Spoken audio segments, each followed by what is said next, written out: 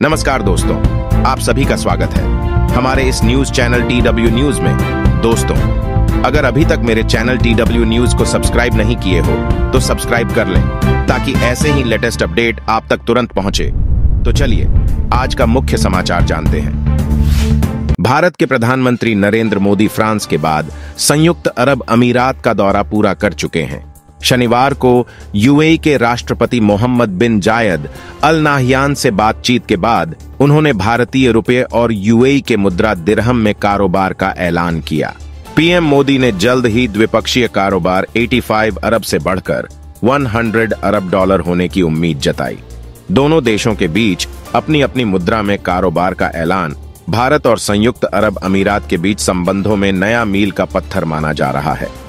पिछले कुछ वर्षों में भारत और यूएई के रिश्तों में खासी गर्माहट आई है। पिछले साल जब मोदी यूएई पहुँचे थे तो राष्ट्रपति मोहम्मद बिन जायद अल नाहियान प्रोटोकॉल तोड़कर खुद अबू धाबी एयरपोर्ट पर मोदी के स्वागत में खड़े दिखे थे। यूएई ने नरेंद्र मोदी को अपने सर्वोच्च नागरिक सम्मान, ऑनर्डर ओन ऑफ़ जायद से नवाजा है। नरेंद्र मोदी पिछले नौ साल से प्रधानमंत्री हैं। अपने अब तक के शासन के दौरान उन्होंने खाड़ी देशों से भारत के संबंधों को बढ़ाने पर खासा ध्यान दिया है। 2014 में जब मोदी प्रधानमंत्री बने तो 2002 के गुजरात दंगों को लेकर खाड़ी देशों में बनी उनकी छवि से लग रहा था कि इसका असर भारत के साथ उनके संबंधों पर पड़ सकता है। लेकिन इसके उलट उन्होंने खाड़ी देशों के साथ भारत के संबंधों को मज़बूत बनाने कदम उठाकर चौंकाया है। अपने आठ साल के शासन में उन्होंने खाड़ी के इस्लामिक देशों से संबंधों को मज़बूत करने को काफ़ी गंभीरता से लिया है। जहाँ तक यूएई का सवाल है तो मोदी ने यहाँ का पहला दौरा अगस्त 2015 में, दूसरा फरवरी 2018 में और तीसरा अगस्त 2019 में किया और चौथा दौरा जून 2022 में किया था। मौजूदा दौरा यूएई का उनका पांचवां दौरा है। जब मोदी ने अगस्त 2015 में यूएई का पहला दौरा किया तो यह पिछले 34 सालों में किसी भारतीय प्रधानमंत्री का पहला दौरा था। मोदी से पहले 1981 में इंदिरा गांधी ने यूएई का दौरा किया था। मोदी की विदेश नीति में यूएई को दी जा रही तवज्जो की झलक 2017 में गणतंत्र दिवस के मौके पर मिली। उस समय मोदी सरकार ने मोहम्मद बिन जायद अल नाहियान को ही चीफ गेस्ट के रूप में न्योता दिया था। तब मोहम्मद बिन जायद अल नाहियान यूएई के राष्ट्रपति नहीं थे, बल्कि अबू धाबी के क्राउन प्रिंस थे। परंपरा के हिसाब से भारत गणतंत्र दिवस पर किसी देश के प्रधानमंत्री या राष्ट्रपति को ही मुख्य अतिथि बनाता है।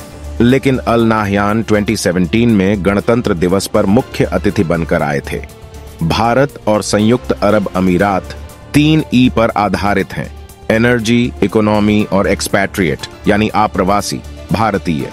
पिछले वित्त वर्ष 2022 टू 23 के दौरान यूएई भारत को कच्चा तेल सप्लाई कराने वाला तीसरा बड़ा देश था।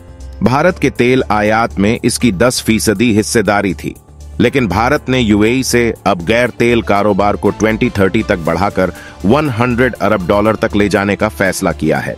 भारत और यूएई के बीच बढ़ते रिश्तों में दोनों के बीच पिछले साल हुआ सीईपी कॉम्प्रिहेंसिव इकोनॉमिक पार्टनरशिप समझौता अहम भूमिका निभा रहा है। पिछले एक दशक के दौरान भारत की ओर से किया गया पहला मुक्त व्यापार समझौता है। भारत ने पिछला मुक्त व्यापार समझौता 2011 में जापान से किया था। भारत 2027 तक अपनी अर्थव्यवस्था का आकार बढ़ाकर 5 ट्रिलियन डॉलर करना चाहता है। इसी लक्ष्य को हासिल करने के लिए वो 2030 तक अपने निर्यात को बढ़ाकर एक ट्रिलियन डॉलर तक ले जाना चाहता है। सीईपीए इसमें अहम भूमिका निभा सकता है। 1970 के दशक में भारत का यूएई से द्विपक्षीय व्यापार महज 18 करोड़ डॉलर का था, जो अब बढ़कर 85 अरब डॉलर का हो गया है। अमेरिका और चीन के बाद यूएई 2021 टू 22 में भारत का तीसरा सबसे बड़ा ट्रेड पार्टनर है। अमेरिका के बाद भारत सबसे ज़्यादा निर्यात यूएई में करता है। यूएई में भारत के राजदूत संजय सुधीर के मुताबिक यूएई के साथ भारत का कारोबार एक ही साल में 19 फ़ीसदी बढ़ गया है। प्रधानमंत्री नरेंद्र मोदी ने अपनी मौजूदा यूएई यात्रा में वहाँ के राष्ट्रपति से एनर्जी, फ़ूड सिक्योरिटी और रक्षा समेत कई मुद्दों पर चर्चा की। मीडिया खबरों के मुताबिक मोदी और मोहम्मद बिन जायद के एजेंडे में 2022 में हुए सीईपीए की समीक्षा भी था। यूएई के साथ भारत के कारोबारी रिश्ते जिस तेज़ी से बढ़ रहे हैं, वो कई विश्लेषकों के लिए चौंकाने वाला है। यूएई अब भारत में चौथा सबसे बड़ा निवेशक बन गया है। इस समय भारत में इसका निवेश थ्री अरब डॉलर से भी ज़्यादा हो चुका है। 202 21 में भारत में इसका निवेश 1.03 अरब डॉलर था। उस वक्त यह भारत में दुनिया का सातवां बड़ा निवेशक था। यानी सिर्फ़ एक ही साल में इसने तीन पायदान की छलांग लगाई है। Indian council on of world affair के फेलो और मध्य पूर्व मामलों के जानकार फज्जुर रहमान सिद्दीकी कहते हैं मोदी सरकार कैमेक इन इंडिया और स्टार्टअप इंडिया जैसे अभियानों में यूएई को संभावनाएँ दिख रही है और वो इनमें निवेश बढ़ा रहा है। वो कहते हैं, सबसे बड़ी बात यह भारत में यूएई के निवेश और कारोबार में लगातार निरंतरता दिख रही है।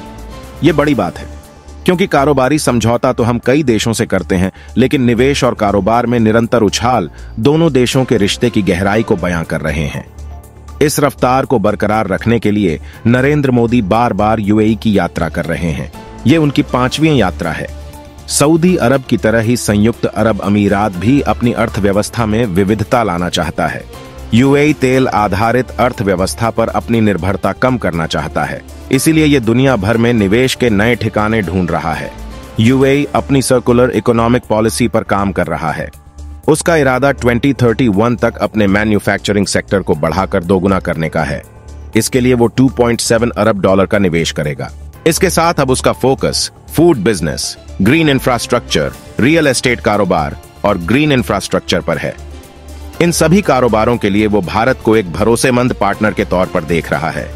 वो भारत में निवेश भी करना चाहता है और इन सेक्टरों में उसकी दक्षता का लाभ भी उठाना चाहता है। यही वजह है कि वो महँगे पश्चिमी विशेषज्ञों की तुलना में भारतीय पेशेवरों और तकनीकी विशेषज्ञों को तवज्जो दे रहा है। रूस यूक्रेन युद्ध ने खाड़ी देशों को फ़ूड सिक्योरिटी के मोर्चे पर गंभीरता से सोचने को मजबूर कर दिया है। अरब वर्ल्ड का 60 फ़ीसदी खाद्यान्न सप्लाई रूस और यूक्रेन से आता है। लिहाजा इस युद्ध ने इस मोर्चे पर संयुक्त अरब अमीरात को झकझोर दिया है।